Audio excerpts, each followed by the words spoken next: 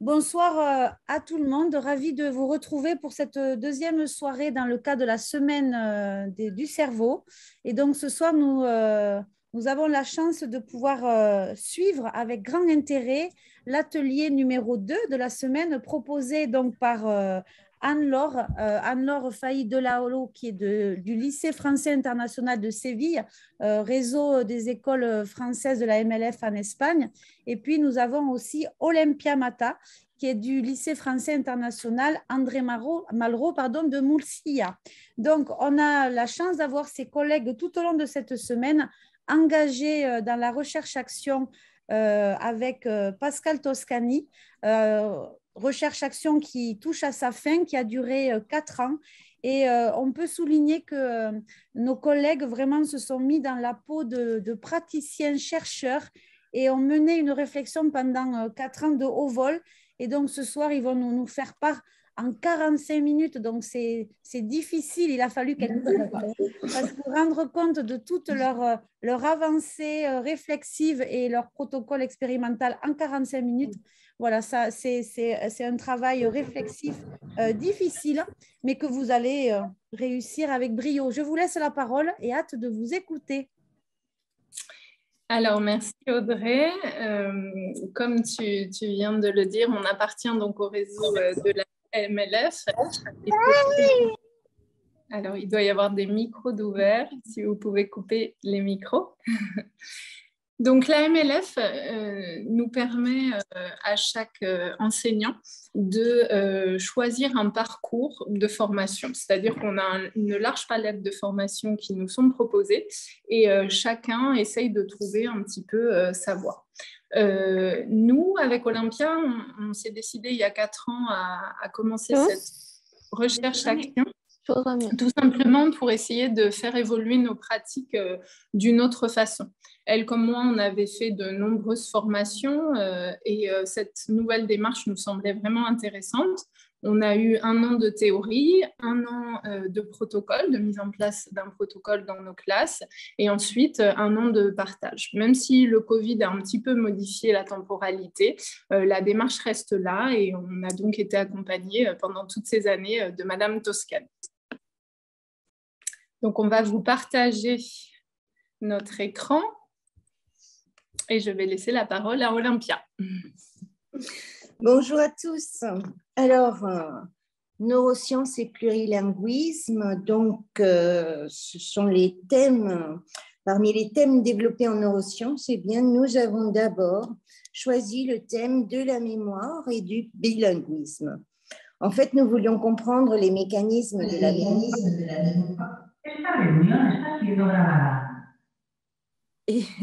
les mécanismes de la mémoire et du bilinguisme. Et donc, euh, les questions que nous nous posions, c'est euh, pourquoi certaines personnes ont plus de facilité en langue? Y a-t-il une cause biologique? Pourquoi certaines personnes semblent-elles mieux mémorisées que d'autres? Comment favoriser la mémorisation?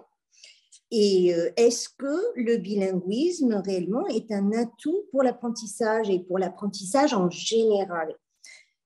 Des questions plus concrètes aussi. Euh, doit-on permettre ou doit-on s'autoriser à recourir à la traduction? Faut-il, dans nos établissements français à l'étranger, repenser le paradigme une personne, une langue? Et dans quelle mesure? Donc, euh, vous voyez que nous, sommes partis de, de, beaucoup de questionnements d'ordre général et puis pratique, et puis finalement, nous avons, euh, nous avons décidé de vraiment euh, nous centrer et, nous demander, mais qu'est-ce qui nous pose problème? Qu'est-ce qui pourrait faire avancer nos pratiques?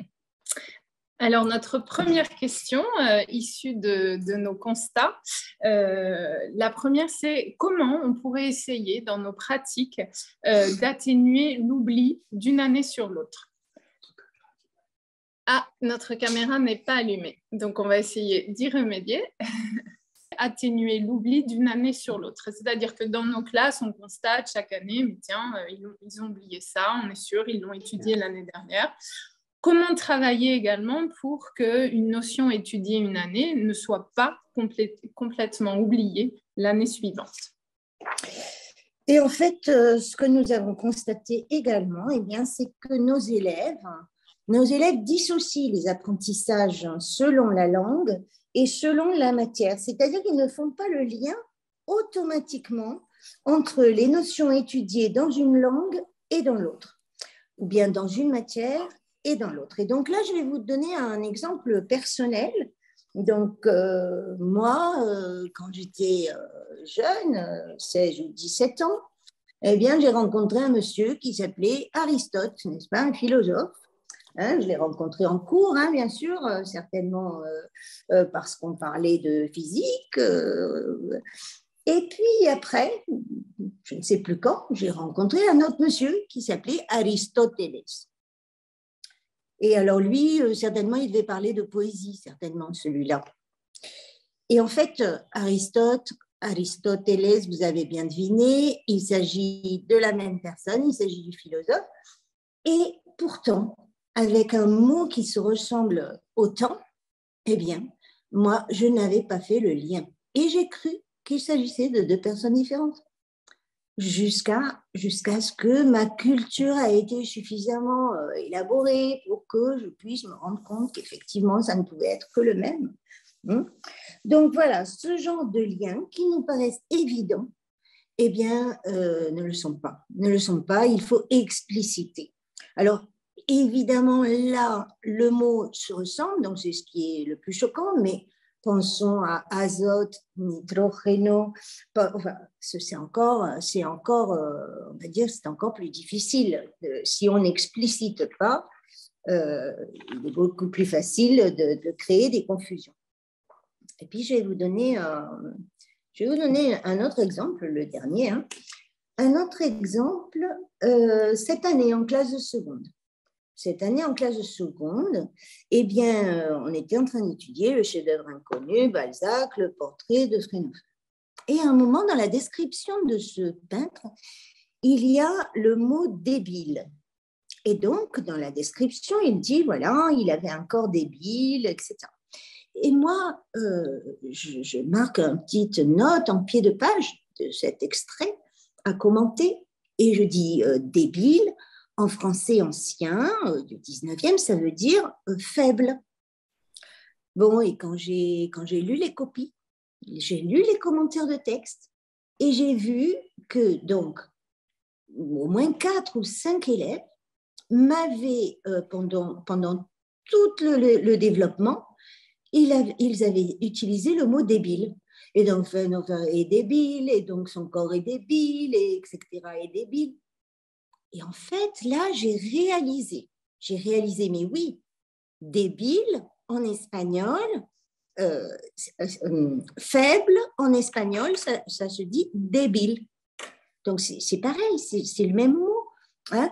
et, donc, en fait, moi, la note de pied de page euh, que j'aurais dû mettre, c'est précisément expliquer qu'en français, débile, ça ne veut pas dire la même chose. Ça voulait le dire au 19e, mais pas maintenant. Donc, tout cela pour dire que euh, il dissocie, il dissocie euh, parfois des choses qui à nous nous paraissent évidentes. Et de façon plus générale, dans nos établissements à l'étranger, on avait le sentiment que nos élèves assistaient un petit peu à un défilé de professeurs dans les trois langues, français, espagnol, anglais, tout au long de la journée.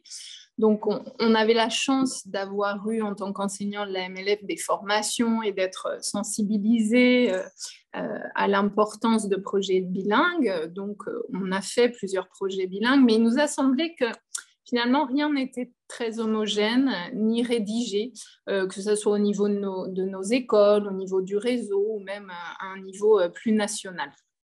Or, on sait que faire du lien, c'est une des compétences de vie fondamentales qu'on veut euh, euh, faire acquérir à nos élèves. Donc, on s'est demandé ben, comment on pourrait systématiser davantage les liens entre les contenus que l'on enseigne chacun et chacune dans nos trois langues. On s'est demandé si euh, les neurosciences pourraient nous apporter un éclairage sur l'importance de ces liens et euh, plus largement, bah, si les neurosciences expliquent mieux l'importance d'utiliser le bilinguisme pour le développement des apprentissages, est-ce que cela permettrait à nos établissements une nouvelle organisation, voire un nouveau fonctionnement? Donc, on a pu poser notre problématique. Euh, notre problématique de recherche est la suivante. Est-ce que l'encodage et le rappel des concepts en plusieurs langues facilitent la compréhension et la mémorisation pour répondre à cette problématique, nous sommes très, très, très longuement documentés. Nous avons beaucoup lu sur les apports des neurosciences d'une part et sur ce que nous savons sur le plurilinguisme d'autre part. Alors, que disent les neurosciences? Donc, euh, voilà, nous nous sommes documentés, nous avons lu euh, énormément donc, de bibliographies dessus et nous allons vous en, euh, laisser quelques, quelques-uns là que nous conseillons vivement à ceux qui veulent approfondir en la matière. Alors, que disent les neurosciences sur, par exemple, sur la mémoire?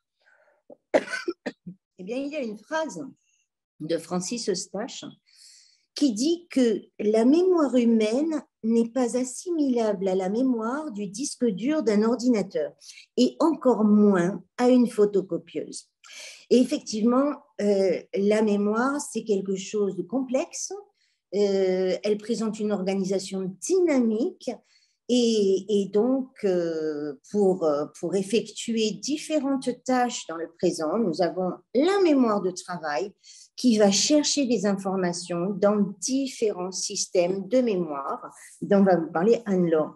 Donc, on est loin de l'image d'une étagère où sont stockées des connaissances comme des livres bien rangés.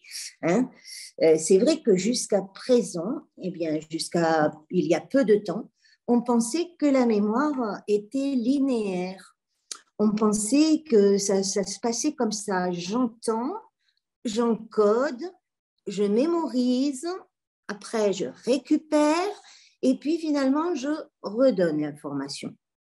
Et aujourd'hui, on sait que l'apprentissage n'est pas linéaire, mais spiralaire, que l'enfant va chercher l'information qui lui manque, mais en fonction de ses besoins. Et il peut aller chercher très loin. Et euh, c'est quand il récupère l'information qu'il la consolide, d'où l'importance de la répétition, de la répétition euh, avec développement hein, et la réactivation. Donc, il va falloir euh, être très attentif à ces différentes phases, donc à l'encodage, la répétition, mais surtout la réactivation, la gestion de l'erreur, le questionnement, qui sont des étapes fondamentales. Donc, je répète, la mémoire n'est plus linéaire, ce n'est plus encodage, stockage, récupération, mais spiralaire. Ce qui manque dans ce modèle linéaire, c'est en fait donc le rôle important de la mémoire de travail.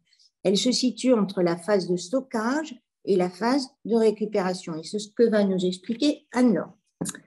Alors, on a cinq types de mémoire. On ne va pas vous embêter ce soir à les détailler toutes les cinq. Ça serait bien trop long et bien trop euh, inintéressant. Euh, il y en a une, par exemple, euh, qui ne nous intéresse pas dans l'enseignement. On sait que le cerveau, il est génétiquement programmé pour diriger une information vers la mémoire procédurale sans la traiter consciemment. Donc ce type de mémoire ne nous intéresse pas dans l'enseignement. Ce n'est pas un type de mémoire sur lequel on peut concrètement agir. Euh, nous, ce n'est évidemment pas celle qu'on a choisie. On s'est intéressé à la mémoire qu'on appelle la mémoire de travail. Alors pourquoi? Euh, Cette mémoire de travail, déjà, qu'est-ce que c'est? C'est euh, elle qui fait revenir à la conscience des informations qui proviennent des autres systèmes pour permettre à l'élève d'agir dans différentes situations. Cette mémoire de travail, elle, maintient de façon temporaire les informations. Elle traite l'information, elle élabore des stratégies, c'est elle qui planifie l'action. C'est un peu le lieu, en fait, où le lieu de la compréhension, du raisonnement. Euh, c'est euh, ce qui nous permet également d'inhiber des réponses non pertinentes on devine bien que cette mémoire, chez nos élèves comme chez les adultes, est totalement dépendante des capacités. Il doit y avoir un micro d'ouvert. cette mémoire de travail, elle est totalement dépendante des capacités euh, attentionnelles. C'est elle qui nous intéresse à l'école. Alors pourquoi? Parce que euh, cette mémoire de travail, c'est elle qui crée un conflit cognitif, c'est-à-dire un conflit euh, entre ce que je sais déjà et ce que je vais apprendre. Or, si ce conflit n'a pas lieu dans le cerveau de nos, de nos élèves, il n'y a tout simplement pas d'apprentissage. Alors attention, cette mémoire de travail, c'est une mémoire qui a besoin du, de temps, qui s'inscrit dans une temporalité. Parce que ce conflit, il va modifier des représentations de l'élève, donc il a besoin de temps. Euh, notre rôle, nous, en tant qu'enseignant, pourquoi il faut la comprendre, cette mémoire? Ben, Il faut essayer de comprendre son fonctionnement parce que ça, doit nous permettre, euh, en tant qu'enseignant, de dépasser un petit peu le constat d'échec concernant la mémorisation chez nos élèves, de se dire c'est fou, ils s'en souviennent plus, c'est sûr, on l'a déjà étudié, ils l'ont déjà fait avec mon collègue. Euh, et donc, euh, ça nous permet un peu de, si je comprends la mémoire de travail, je vais pouvoir réfléchir sur mes pratiques pédagogiques et réfléchir sur comment je vais favoriser l'acte de mémorisation euh, chez mes élèves. Donc voilà, l'enseignant va, essayer de à travers la compréhension de cette mémoire, de mettre en place tout un, système, tout, un ensemble d'activités qui vont permettre à l'enfant de mieux mémoriser. Euh, l'enseignant doit donner des conditions et les connaissances qui vont mettre l'élève en situation d'utiliser sa mémoire de travail. Je vais laisser Olympia continuer en vous présentant maintenant euh, ce qu'on a appris à travers nos lectures sur le bilinguisme. Alors, ce que nous savons sur le cerveau et sur le plurilinguisme, eh bien, le cerveau euh, d'un enfant bilingue est-il différent? Eh bien, oui, apparemment, il est différent. Il y a plusieurs études qui constatent surtout une amélioration des fonctions exécutives. Les fonctions exécutives, euh, Anne-Laure vous en a parlé un petit peu, euh, on va dire que les, plurilingues sont comparés euh, à des jongleurs pour leur capacité de passer d'une langue à l'autre. Et en fait, les personnes plurilingues développent une capacité euh, d'inhibition, euh, la capacité en fait de bloquer les informations qui ne sont pas importantes et de se concentrer sur les informations utiles. Et donc de passer de activation à inhibition, activation à inhibition quand ils changent de langue. Alors, ça se passe comment exactement? Eh bien, euh, indépendamment, alors on ne va pas expliquer toutes les choses qui se sont remarquées, mais indépendamment des changements physiques que l'on peut constater, parce qu'il y a une augmentation de certaines zones du cerveau, etc., mais on sait, et on sait également à travers les travaux d'imagerie euh, cérébrale euh, que quand la personne maîtrise très bien sa langue, eh bien, euh, ça se situe, les neurones activés, elles sont exactement, enfin, sont dans la même partie du cerveau. Mais on sait aussi, parce que des expériences ont montré, eh bien, que plus des connaissances sont acquises dans des langues différentes, plus elles sont stockées dans des zones différentes du cerveau et éloignées de la zone réservée strictement au langage. Donc, elles ne sont pas préservées sous forme de mots, mais elles sont euh, euh, préservées sous, différents supports des images, par exemple. Euh, donc ça, c'est quand même intéressant par rapport à, tous les types de mémoire hein, que, que tu nous as cités, Anne. Donc, de plus, un autre constat, c'est qu'on pense que les langues ne sont pas dissociées. Les personnes bilingues, eh bien, elles ne se rappellent plus dans quelle langue elles ont appris certaines choses. Elles peuvent avoir oublié euh, si elles ont lu un article de presse ou si elles ont vu un film en espagnol, en français, en anglais. Euh, elles se souviennent du film. Elles ne se souviennent pas dans quelle langue elles l'ont vu la première fois ou, récemment même. Euh, donc, donc voilà, tout ça, ça nous fait penser que euh, véritablement, eh bien, c'est un thème. Euh, la langue, ce n'est pas, pas un dictionnaire. On n'a pas un dictionnaire bilingue dans la tête. Hein. les mots, la langue est porteuse d'une forte charge culturelle, même de sens caché, de connotations, de messages subliminaux, d'émotions. Donc la langue euh, a une charge culturelle énorme. Et donc, on va vous présenter une petite expérience toute simple mais qui s'est avérée euh, très éclairante, très révélatrice, pour justement euh, bah, un peu prendre conscience de cela. Alors, on a, on a fait cette expérience avec des adultes et avec des, et avec des, élèves de première.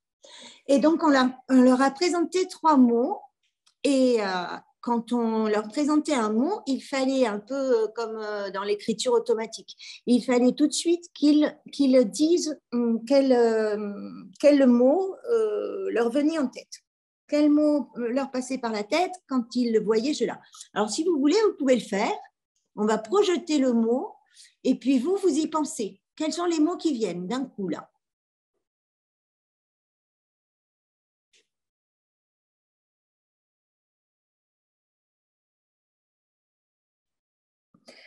Alors, je ne sais pas à quoi vous avez pensé, mais en tout cas, je sais euh, ce que, m'ont dit euh, les, les, élèves et ce que m'ont dit les adultes à qui euh, j'ai posé la question.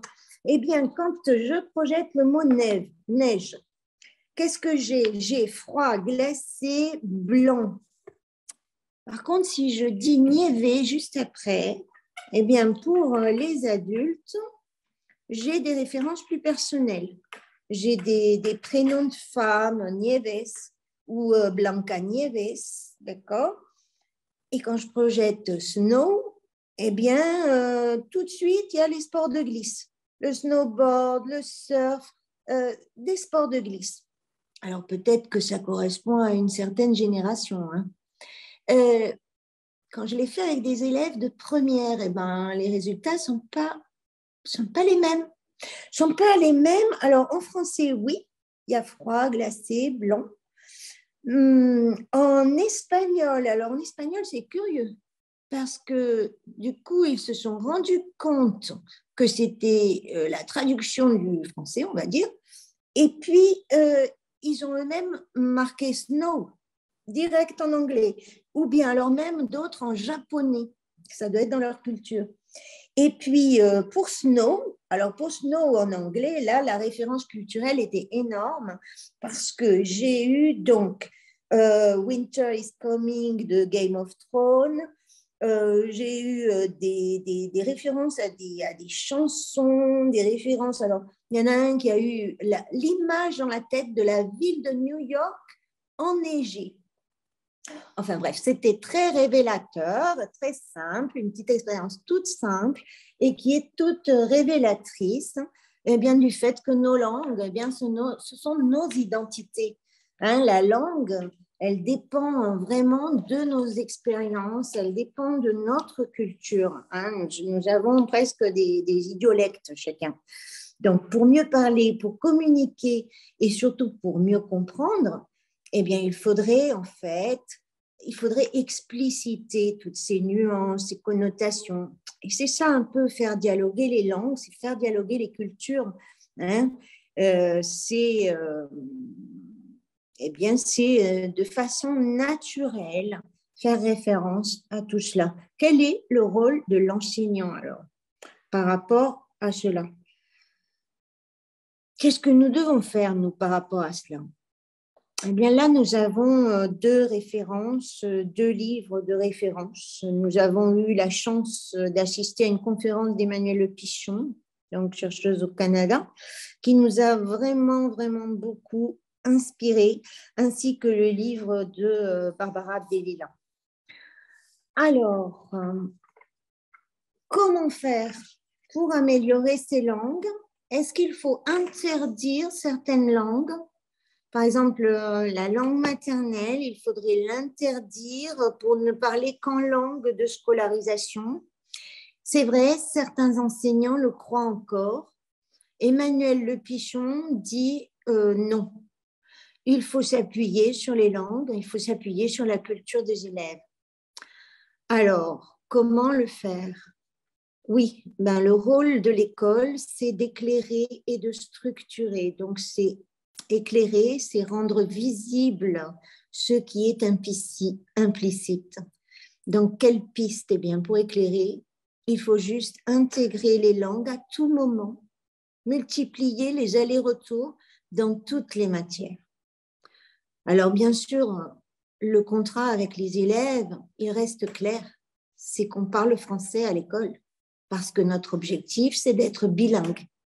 Par contre, et ça, ce serait plutôt pour les parents, Manuel Pichon dit euh, laissez-les parler, laissez-les parler dans la langue, euh, dans la langue qui vient, et pourquoi pas même laissez-les mélanger les langues hein, à un moment donné. Alors on se dit, mais à l'école, on ne peut pas faire ça, on ne peut pas laisser mélanger les langues. À la maison, ce n'est pas grave, mais à l'école, on ne peut pas. L'école, elle doit structurer, le contrat doit être clair. Mais ne pas mélanger, ça ne veut pas dire interdire. Alors, pourquoi ne pas, par exemple, aménager des temps où on a le droit de mélanger, où on peut jouer avec les langues, où on peut aussi réfléchir et comparer les langues? En tout cas, à chaque instant, pouvoir avoir le droit d'évoquer sa langue.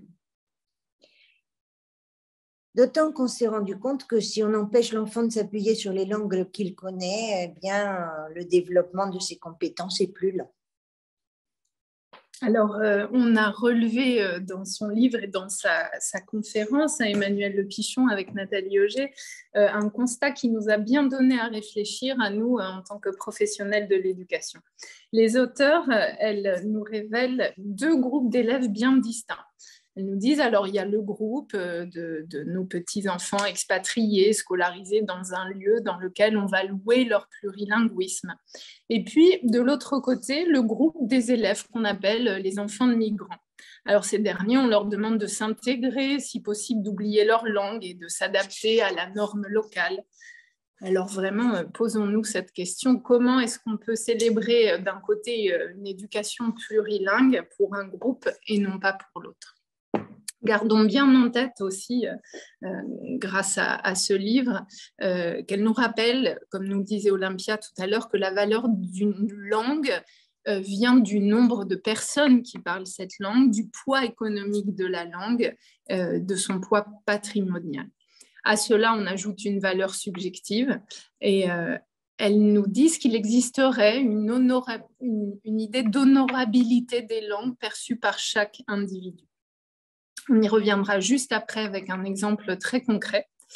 Je rappelle euh, que dans leur livre, elles nous précisent, euh, on l'oublie peut-être, mais que les langues et la culture, avant toute chose, c'est un droit.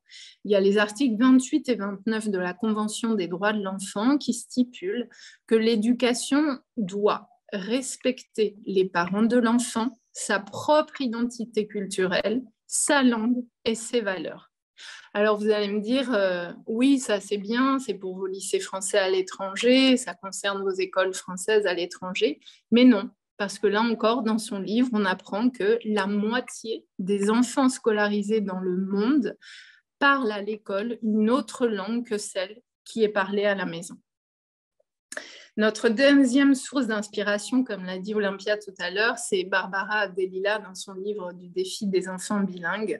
Alors elle, elle parle d'un thème euh, qui nous a beaucoup parlé, le bilinguisme euh, additif. Qu'est-ce que ça serait?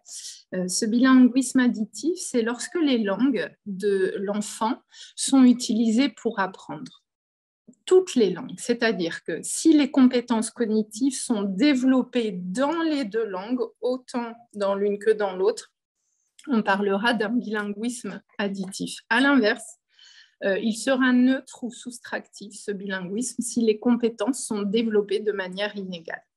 Alors, elle cite l'exemple d'un enfant, c'est très parlant, qui a grandi avec une maman anglaise et puis un papa français. Eh bien, elle nous montre que euh, cet enfant aura bien plus de chances de développer un bilinguisme satisfaisant qu'un enfant qui entend le tchèque avec son papa et le français à la maison avec sa maman. Alors pourquoi? Bah, L'anglais est considéré euh, par notre société comme une langue nécessaire. Le tchèque, à l'inverse, est parfois considéré comme superflu ou inutile sur le marché du travail. On a relevé dans les textes de l'éducation nationale même euh, le terme de langue mineure, c'est-à-dire qu'en dehors de l'anglais, de l'allemand et de l'espagnol, les autres langues sont appelées des langues mineures. Donc, on l'a à l'esprit, le statut d'une langue, les attitudes envers le bilinguisme qu'on peut avoir, ce sont des facteurs avant tout macro-sociaux aussi le développement du bilinguisme. Donc, pour préparer notre petit protocole en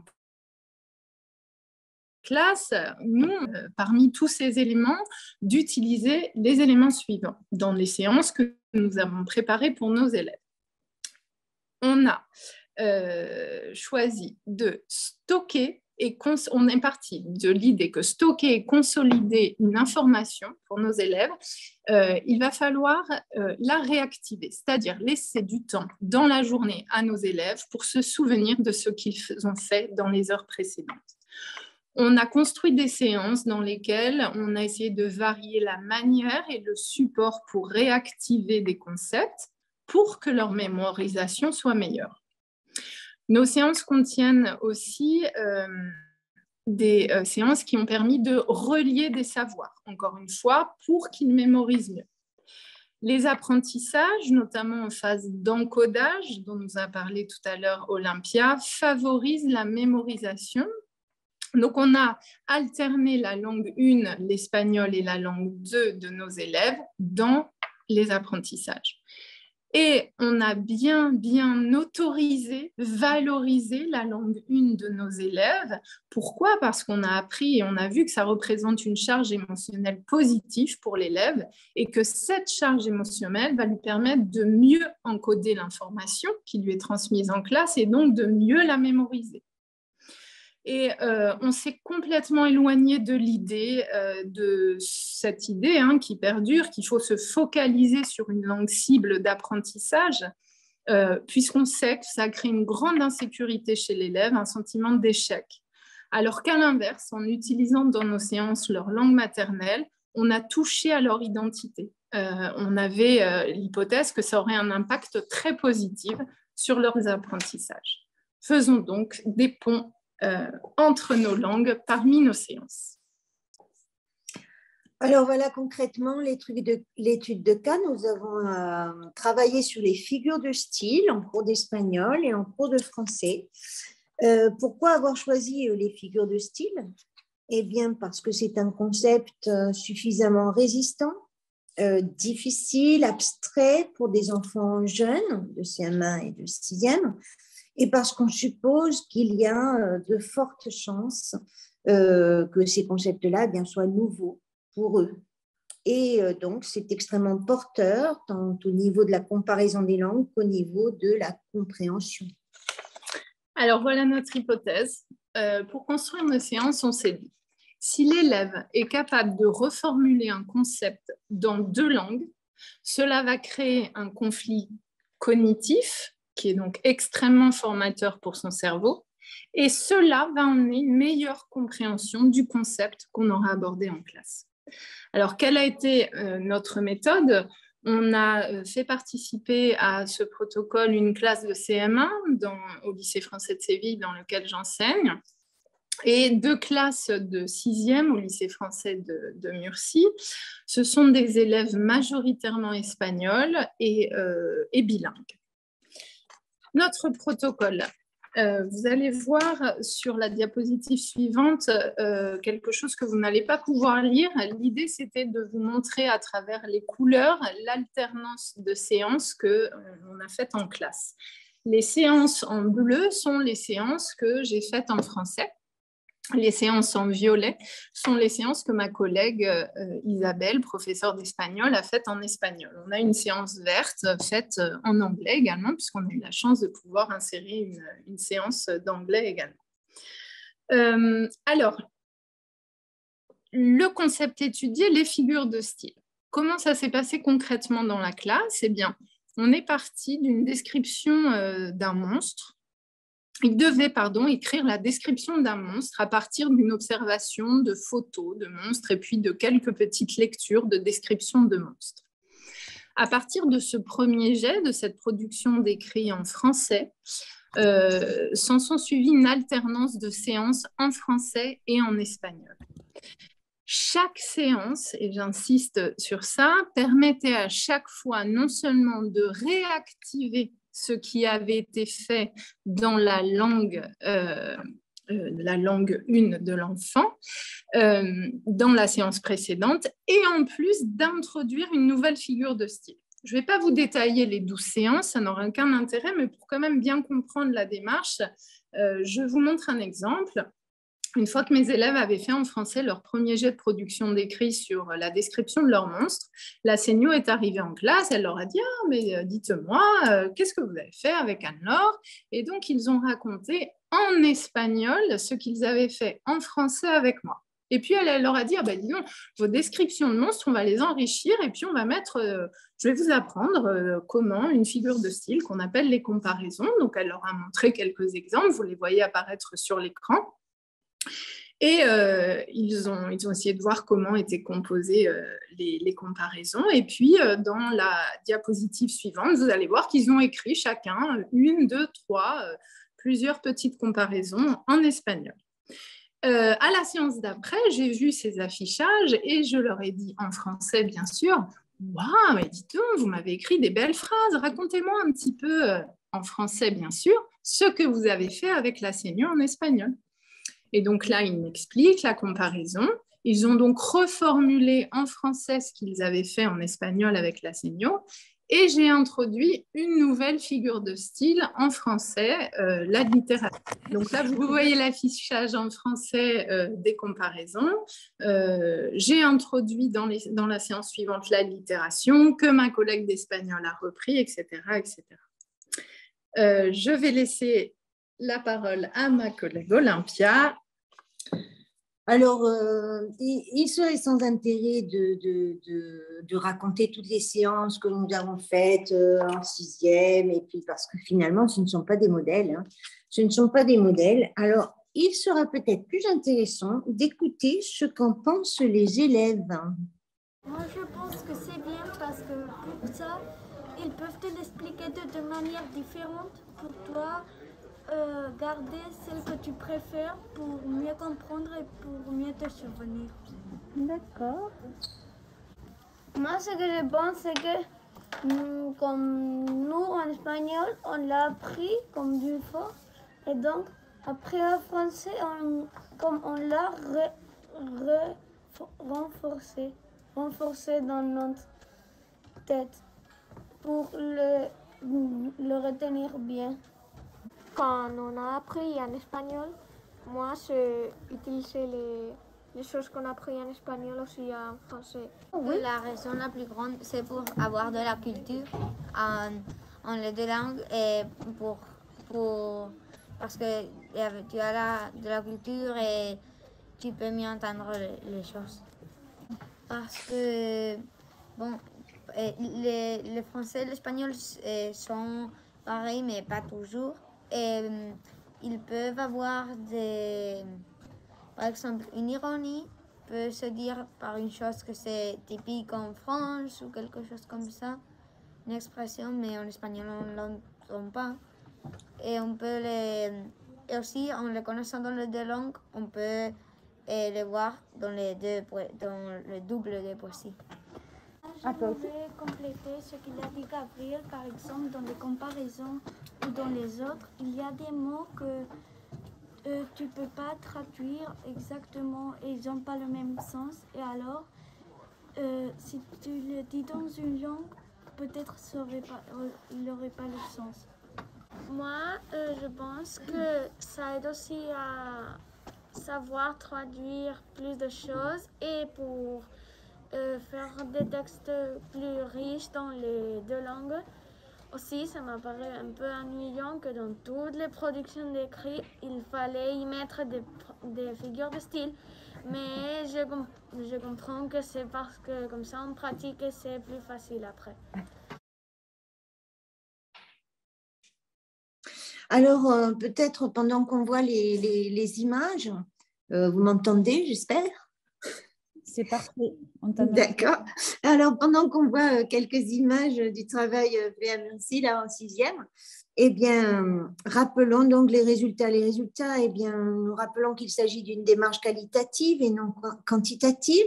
Notre bilan, c'est donc une liste d'observations faites en classe, donc des attitudes, des questionnements, des remarques, des habitudes de travail, des réflexes, etc. Alors, je vais vous en donner quelques exemples. Par exemple, euh, un élève, euh, et plusieurs élèves d'ailleurs, m'ont parlé de figures de style, de figures littéraires, pardon. Ils m'ont parlé de figures littéraires, et eh bien parce qu'à un moment, là, ils me disent, ils me parlent d'une anaphore ou je ne sais quoi, et puis ils me disent, voilà, c'est une figure littéraire. Parce qu'en espagnol, ils appelaient figuras literarias. Alors que, bon, ce n'est pas une erreur, hein. en français aussi, on peut dire ça comme ça, mais, mais c'est vrai que nous, on est plutôt habitués. Alors, je vais peut-être arrêter le partage. Hein. On, va, on, va, on va maintenant, on a plus de présentation. Euh, il parlait de figuras literarias et, et, nous, on est plutôt habitués à, appeler ça des, figures de style. Alors, pourquoi c'était important? Ben, Parce que grâce à ça, euh, grâce à cette, euh, autre façon d'appeler les figures de rhétorique ou les figures de style, eh bien, on a pu rebondir. On a pu dire, ah, mais pourquoi en espagnol on dit figuras literarias? Mais parce que ça sert à ça, ça sert en littérature, ça sert à écrire des textes euh, plus riches. Et donc, ça, ça a explicité le, sens de notre travail en fait, euh, qui est euh, de comprendre et de lire et d'écrire euh, des textes littéraires. Donc voilà un exemple de, de, de, pont qui est intéressant. Après, ça nous a permis aussi de, de, penser plus en termes de compétences c'est-à-dire de la compétence visée plutôt qu'en termes de la matière enseignée. Et je vais vous donner un exemple. Par exemple, euh, moi, je leur fais faire des carnets de lecture, des carnets de lecture et de culture, où ils doivent, euh, alors soit en audio, soit par écrit, ils doivent euh, parler de ce qu'ils ont lu. Et puis à un moment, ils m'ont dit, et c'est pas la première fois, hein, c'est pas juste maintenant, j'avais déjà eu la question avant, euh, mais est-ce qu'on peut parler d'un livre euh, qu'on a lu en espagnol? Alors bien sûr, le réflexe, le réflexe immédiat français. Ah ben non, on fait du français, on va pas maintenant parler d'un livre que tu as lu en espagnol. Alors voilà, ce réflexe, là, ça nous a permis de réfléchir et de se dire, voyons, en fait, quelle est la compétence que je cherche? Je cherche à ce qu'il parle de sa culture, pas de sa culture française, de sa culture littéraire. Donc, je veux qu'il soit capable de s'exprimer en français à l'oral. Donc voilà, je, réfléchis avant de dire ah ben oui tu peux ou non tu ne peux pas. Voilà un début de réflexe euh, qui peut être intéressant. Hein.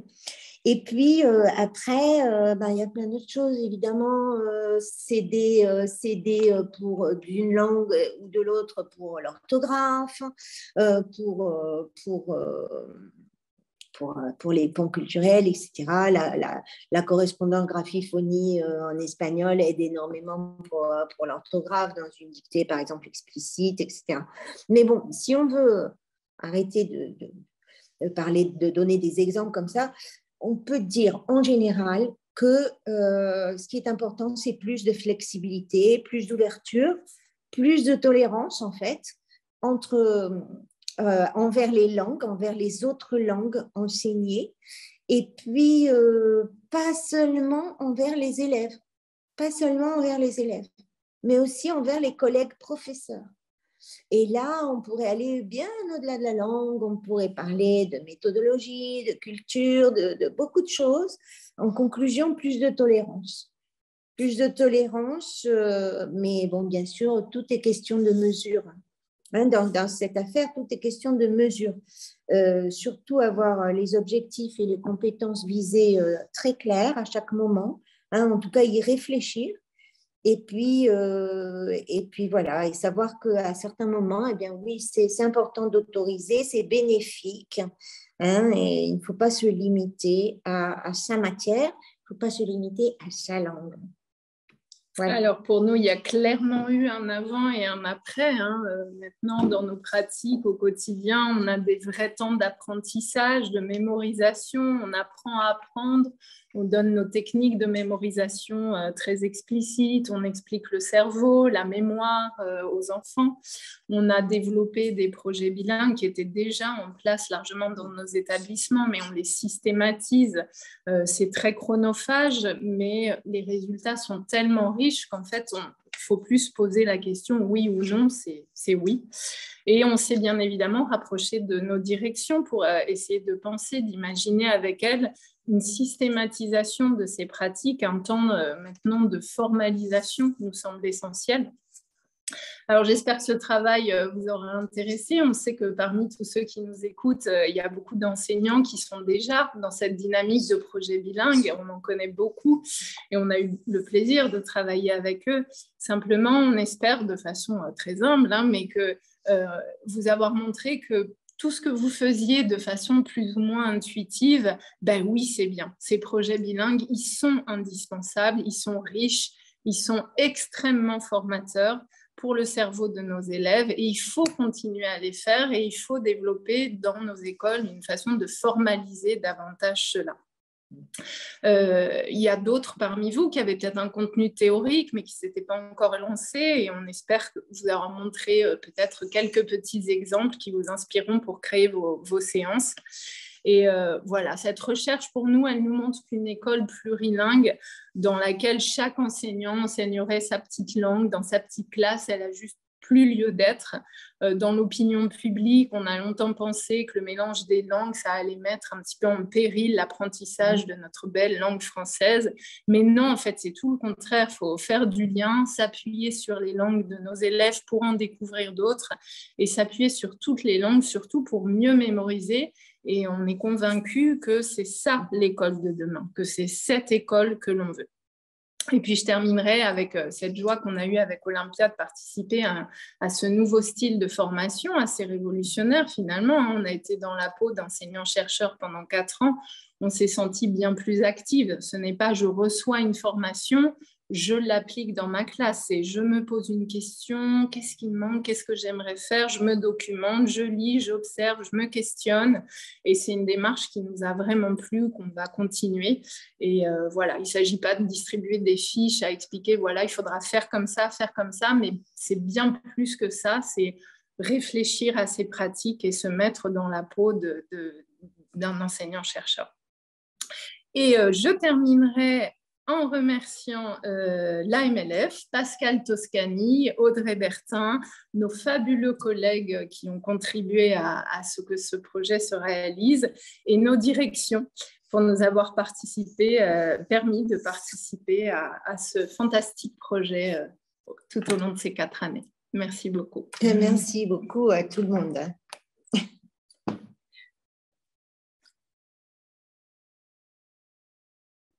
Êtes-vous là?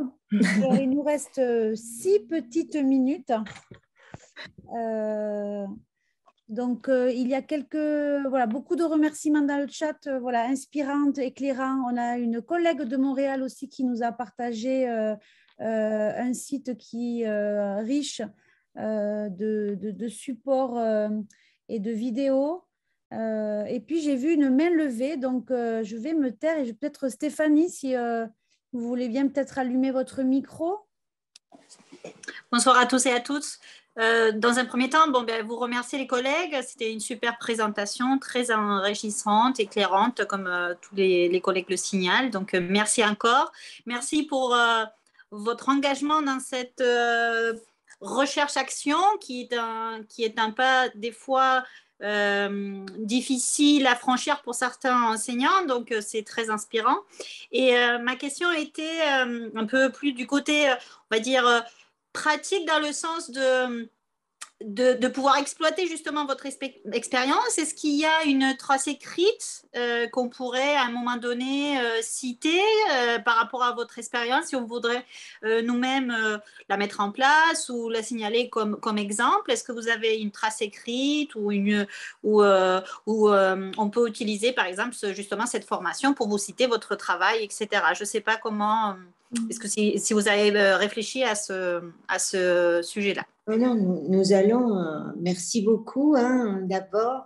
Et puis, euh, oui, nous, allons, nous avons une trace écrite et que, nous, mettrons à disposition de la, de la MLF. Hein, et puis, euh, et puis, mais par contre, ce qu'il faudrait voir, c'est que il s'agit surtout de transmettre des valeurs, des façons d'apprendre, etc. Il n'y a pas de modèle Nous, euh, euh, elle, Anne-Laure l'a fait d'une façon, moi je l'ai fait d'une autre. Il y a beaucoup d'autres projets aussi hein, qui ne sont pas les nôtres, qui sont plus les et qui vont dans le, on va dire, dans le bon sens. En tout cas, qui, qui correspondent tout à fait à ce que, à ce que nous avons lu, qui, qui correspond à, à ce qu'on connaît du cerveau et du plurilinguisme. Euh, donc, euh, donc voilà, il ne faut pas prendre ça non plus comme un modèle, mais c'est vrai, l'alternance séquentielle, la réactivation en début de cours, euh, tout ça, oui, ce sont des petites choses importantes à retenir. Alors, je, vous enverrai, moi, demain matin, le, support donc, de présentation de ce soir, le lien vers la, vidéo. Je vous partagerai également euh, une vidéo euh, proposée dans le cadre des conférences que nous proposons aux parents euh, d'Emmanuel Le Pichon, puisque les apports théoriques aussi s'appuient sur les apports des neurosciences, mais aussi des, linguistes tels que Emmanuel Le Pichon. Et donc, il y a une vidéo qui doit faire 45 minutes et donc voilà, qui peut être aussi très, très éclairante. Alors je vois que euh, Nathalie, tu as beaucoup participé, un grand merci parce que euh, le chat est une mine, donc je vais le sauvegarder également et peut-être voilà, tu pourrais euh, voilà, prendre la parole pour terminer cet atelier. Oui, ben merci beaucoup. J'ai vraiment apprécié votre intervention. Je vous félicite vraiment. ça fait écho. moi, je travaille ici dans un collège, ben, une école secondaire à Montréal euh, dans un milieu donc euh, plurilingue, pluriethnique.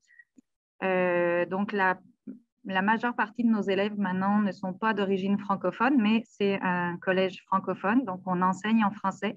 Puis c'est un défi vraiment au niveau des apprentissages et en même temps c'est très confrontant aussi au Québec parce que les francophones au Canada sont en minorité. Donc, il y a aussi euh, tout l'aspect culturel que vous avez évoqué qui est très politique aussi ici. Donc, euh, les enseignants qui sont des francophones pour la en, grande, en grande partie sont souvent confrontés dans leur propre identité linguistique et culturelle face à des jeunes qui sont multi, multi plurilingues.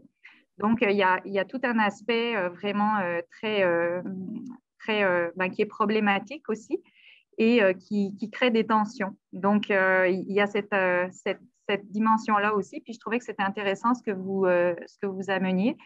Puis, c'est ça le, le, site que j'ai partagé là, de la chercheure qui est d'origine française, Françoise Armand. moi, j'ai eu la chance de travailler aussi au ministère ici aux communautés culturelles, donc c'est un milieu aussi que je connais bien.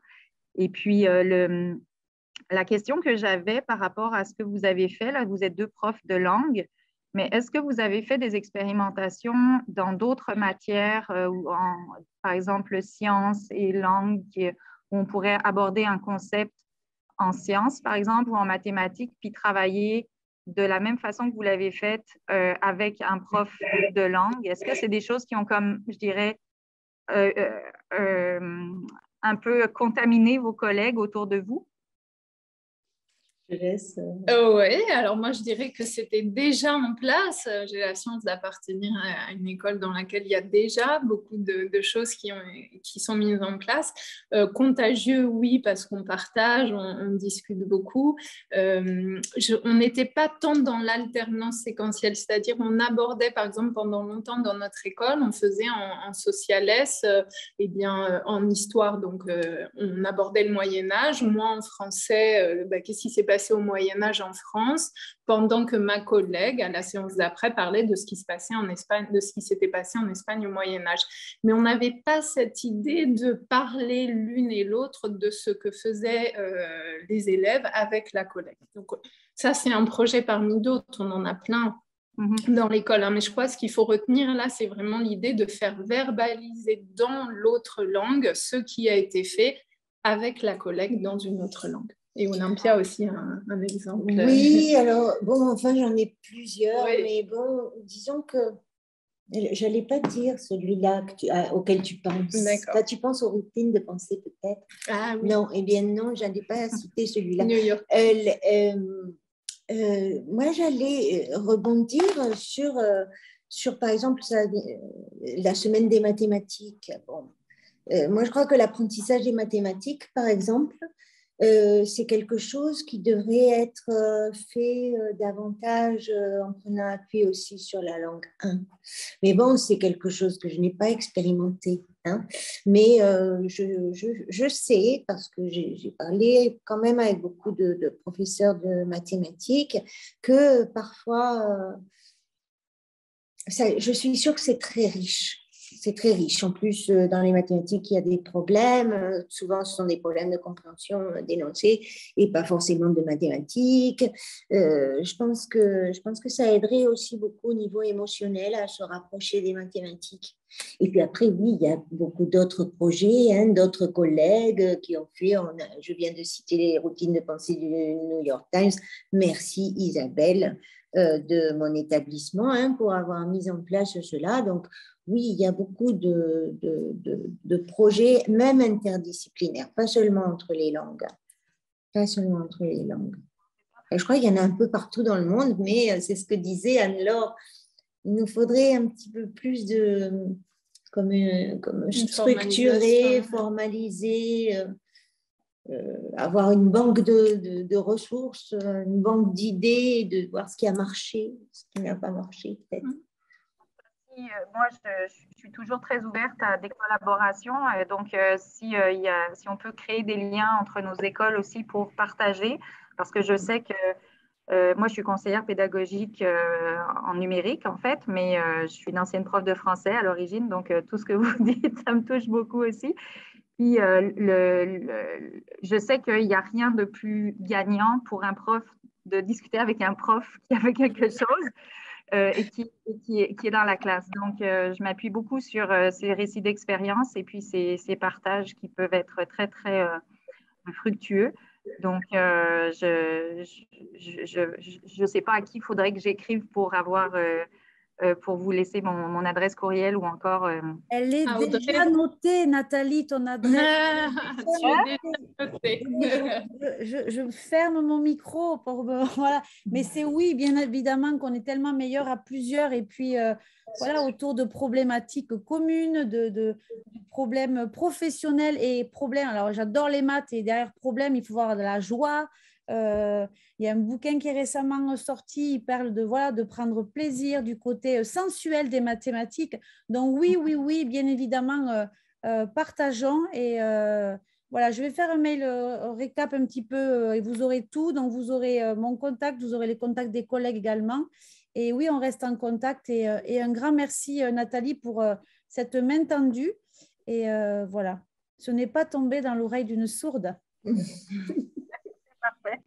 Alors, je vois le temps passer et voilà, on, est tous des, passionnés. Les collègues sont toujours là. Hein, pour la majorité, euh, Olympia et, et Anne-Laure, les collègues sont toujours là. Euh, un grand, grand merci.